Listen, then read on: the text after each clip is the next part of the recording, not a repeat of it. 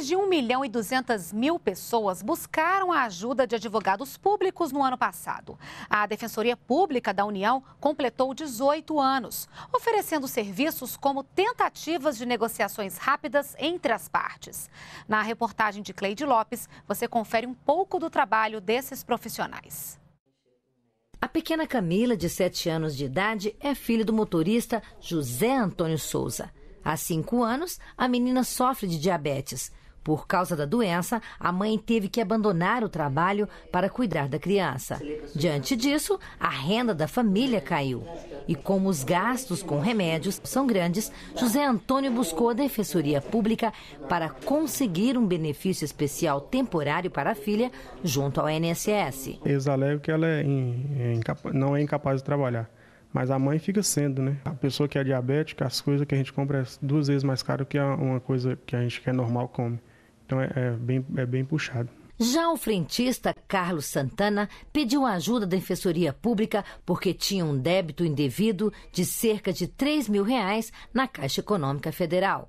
A Defensoria fez um acordo com a Caixa que reconheceu o erro e devolveu R$ 3.900 ao Carlos, sem a necessidade de abrir processos na justiça. Não tinha condição para advogado, meu salário é muito pouco e não tinha condição.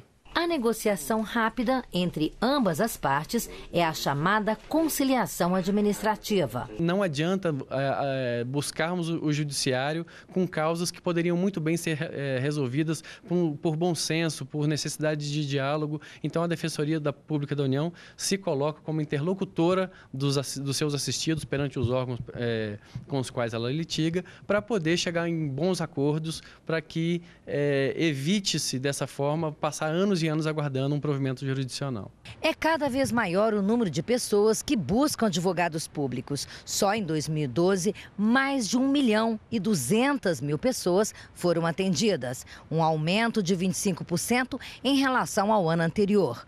Por causa da grande procura, no final do ano passado, o governo sancionou uma lei criando 789 novos cargos de defensor público. De nada adianta um judiciário que precisa ser provocado sem que é, dois terços da população tem acesso a, essa, a esses juízes. Então, com a presença da Defensoria Pública, essas pessoas que normalmente têm seus direitos negados, têm seus direitos vilipendiados, passam a ter um profissional que provoque a justiça e leve cidadania a essas pessoas. A comemoração dos 18 anos da Defensoria Pública da União começou hoje durante o terceiro encontro nacional dos defensores públicos federais. O evento vai até sexta-feira aqui em Brasília. Em pauta, a conciliação.